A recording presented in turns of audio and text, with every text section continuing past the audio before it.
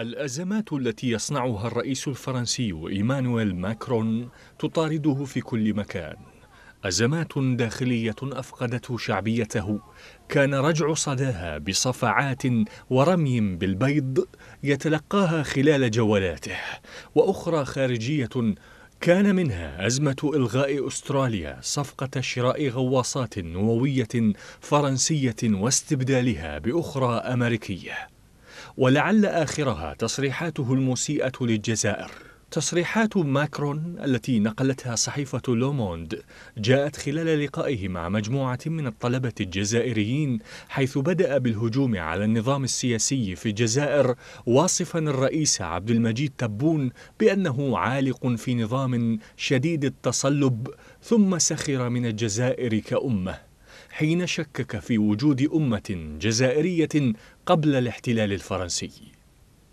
الرئاسة الجزائرية ردت على تصريحات ماكرون باستدعاء سفيرها في فرنسا للتشاور جراء هذا التدخل في شؤونها الداخلية وإغلاق مجالها الجوي أمام الطائرات العسكرية الفرنسية.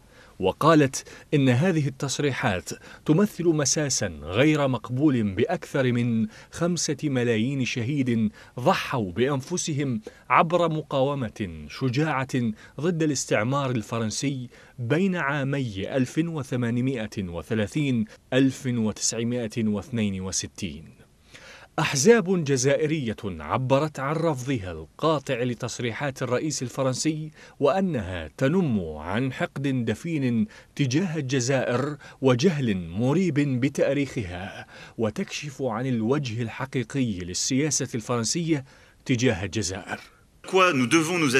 التوتر الحالي بين فرنسا والجزائر ليس الأول من نوعه ويبدو أن ماكرون الذي وصف الإسلام من قبل بأنه يعيش في أزمة أصبح ماكرون منغمسا في أزمات لا تنتهي ويريد التغطية عليها بخلق توترات خارجية فهو يواجه معضلات تتعلق بفشله في تحقيق الكثير مما وعد به الفرنسيين بشأن خفض معدلات البطالة وإنعاش الاقتصاد فسعى لشغل الرأي العام الفرنسي. مستغلا قضايا المهاجرين وآملا في كسب أصوات اليمين المتطرف.